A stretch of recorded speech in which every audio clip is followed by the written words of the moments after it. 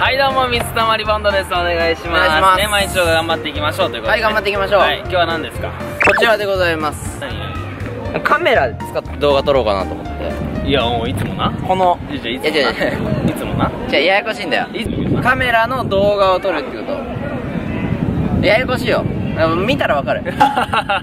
真剣ゼミ8月号が出るらしいんだよね。大体7月になると、まあみんな自由研究の時期なわけですよね。まあまあ自由研究みたいなことをさ毎日日々やってるからその僕らが、うん。あえてそのカメラ、うん。これ本当に写真撮れるの本当に？信じられないでしょ？信じられないよこれで。お。風船をね大量につけてセルフタイマーでして、う写真を撮ったらどうなるのか。んすごくない？これ。これはすごい。やばこういうことこれヘルすげえすげえ。ヘリウムのやつ。うん。ヘリウムのやつね。こんなもんでいっか。何？あ見て。あいいじゃんいいじゃん。はいはいはい。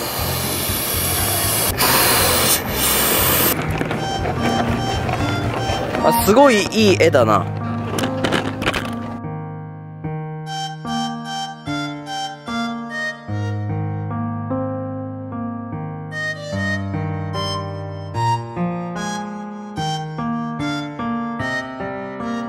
ないですけど子供たちのギャラリーがすごい多いです。ね。あでも。浮いてる浮いてる。浮いてる。これセルフタイマーで撮ったら写真綺麗に撮れるんじゃないの？やばい。向こうに543入ってない入ってない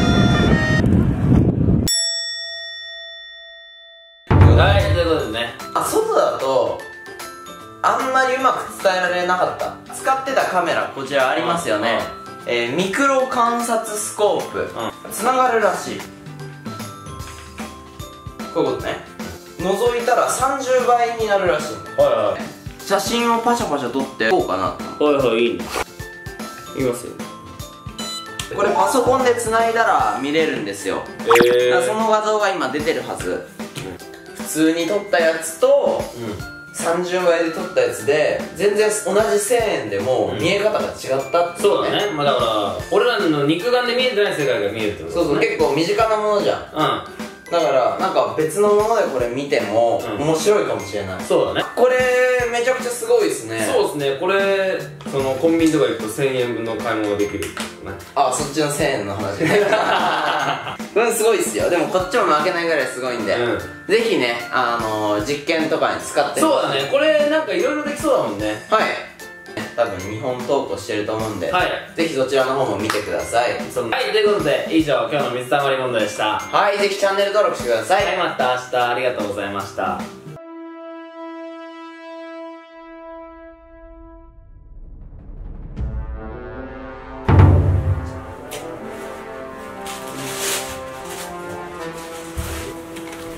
よしやっちゃおう。巻いてったら巻いてって。